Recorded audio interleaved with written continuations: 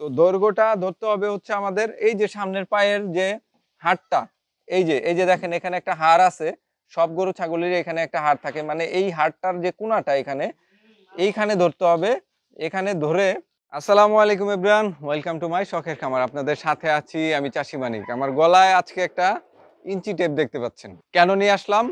খুবই গুরুত্বপূর্ণ একটা টিউটোরিয়াল হতে চলছে, এখন কিন্তু ঈদের ঠিক আগ মুহূর্ত আমরা অনেকেই গরু, ছাগল কিনে থাকি। তো গরু, ছাগল কেনার ক্ষেত্রে এটার বডি ওয়েটটা কীভাবে পরিমাপ করব, সেই বিষয়টা জানা কিন্তু অত্যন্ত জরুরি।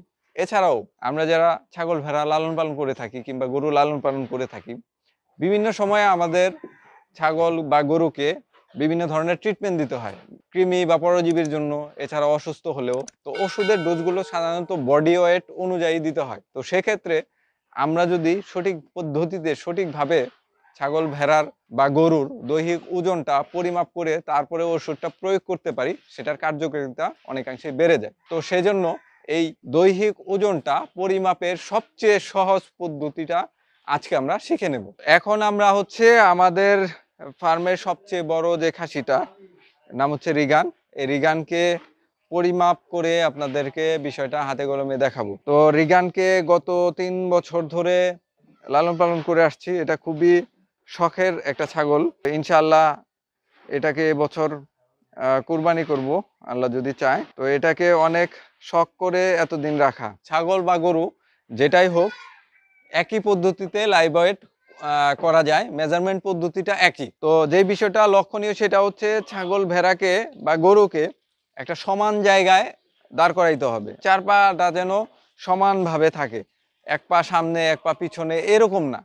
মোটামুটি স্বাভাবিকভাবে যখন ছাগল ভেড়া বা গরু দাঁড়ায়, তো সেই রকমভাবে একটা সমান জায়গায় দাঁড় করাইতে হবে।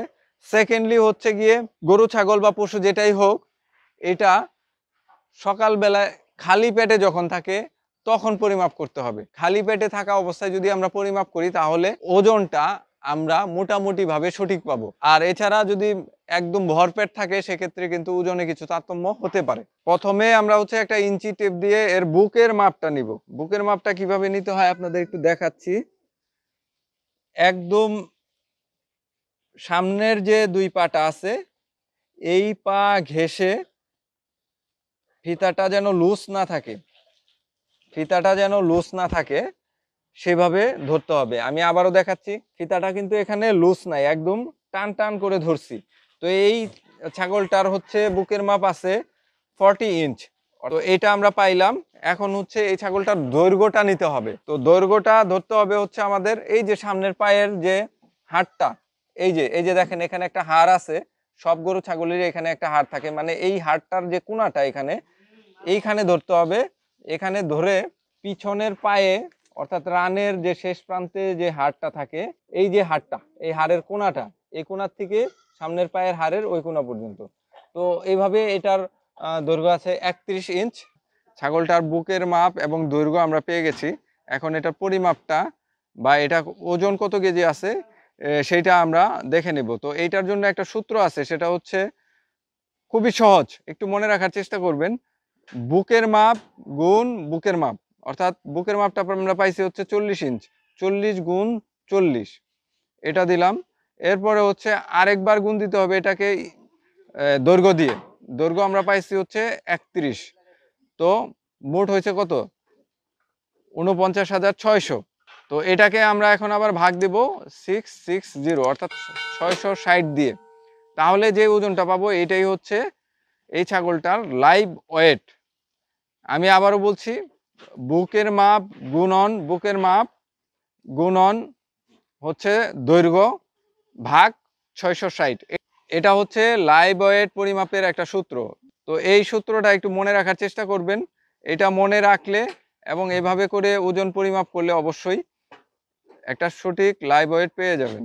সুপ্রিয় দর্শক, ছাগল, ভেড়া কিংবা গরুর ওজন মাপার সূত্রটা কিন্তু খুবই সহজ। একটু আপনারা মনে রাখার চেষ্টা করবেন। আমি আবারও বলছি, বুকের যে বেডটা আমরা পাবো সেটাকে একই পরিমাণ দিয়ে দুইবার গুণ করব। অর্থাৎ বুকের ভের গুণন, বুকের ভের গুণন হচ্ছে যে দৈর্ঘ্যটা আমরা পাবো। তো এই তিনটা গুণন করার পরে যেই সংখ্যাটা আসবে সেটাকে আমরা ছয়শো ষাট দিয়ে ভাগ দিব।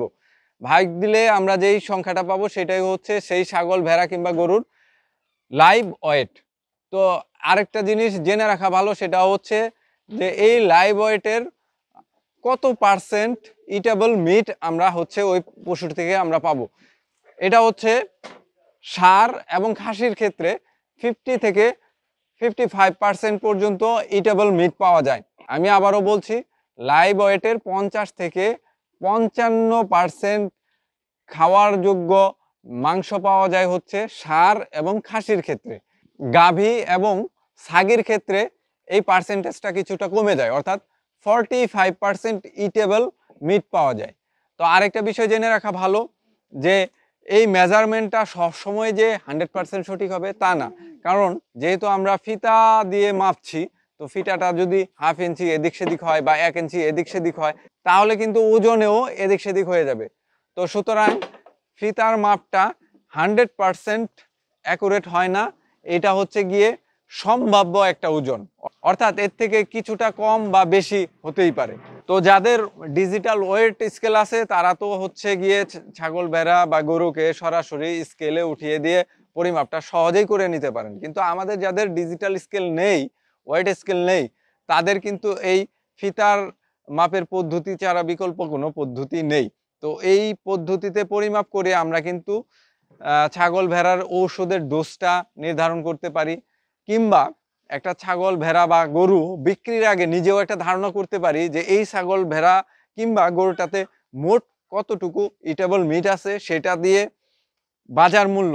অর্থাৎ বাজারে যদি সাতশো টাকা কেজি গরুর মাংস হয়, আমি যদি হচ্ছে গিয়ে লাইভ ওয়েট একশো কেজি পাই, সেখান থেকে আমার ধরে নিতে হবে যে এই গরুটা বা ছাগলটাতে পঞ্চাশ অথবা পঞ্চান্ন কেজি মাংস আছে। ধরলাম আমরা পঞ্চাশ কেজি মাংস আছে, তাহলে এটার দাম কত হওয়া উচিত? পঞ্চাশ দিয়ে সাতশো দিয়ে যদি গুণ করি, তাহলে এটার দাম আসে পঁয়ত্রিশ হাজার।